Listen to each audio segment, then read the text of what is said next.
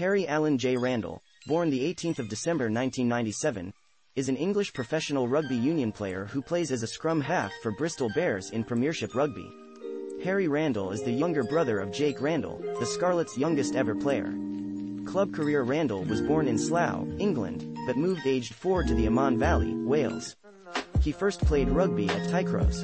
He played for Llandovery College in Wales under 16s. At 17 Randall joined Hartpury College and played for England under 18s. He signed for Bristol in 2018 and was described by the Bristol Post as one of the most exciting young talents in the country.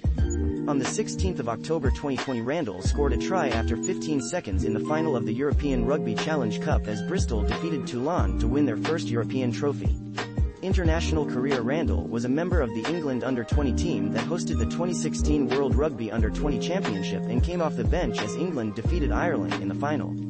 During the 2017 Six Nations Under-20s Championship he scored tries against Wales and Scotland and started in the last game which saw England defeat Ireland to complete the Grand Slam. Later that year Randall started in the final of the 2017 World Rugby Under-20 Championship as England finished runners-up to New Zealand. In January 2021 he was called into the England senior team for the 2021 Six Nations.